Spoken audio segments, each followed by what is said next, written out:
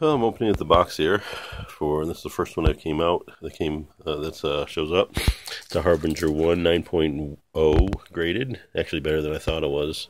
Had some spine ticks and stuff, so I figured it was going to be like an 8.5 or lower, but actually came a little higher, so I was pretty happy with that.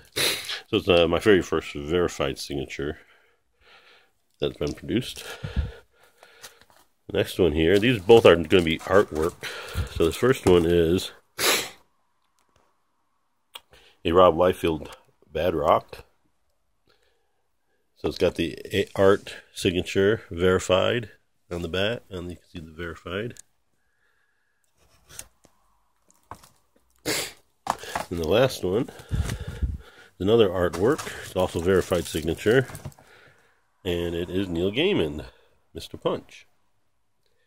So we've got two of the verified artworks that they've always uh, been uh, pushing for. So it's pretty cool. I like it.